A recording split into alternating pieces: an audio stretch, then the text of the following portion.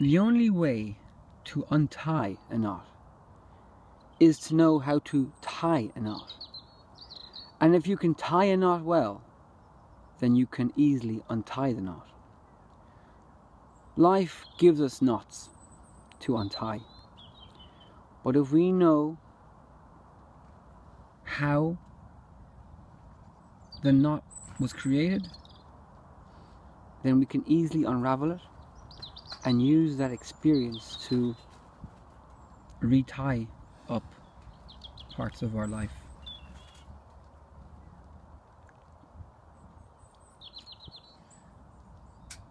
There's something deep and meaningful in that statement. I have no idea how to explain it properly. Uh,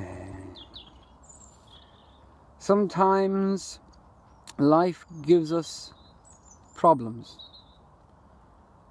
and by unraveling the problem, we learn great lessons to unravel many more problems.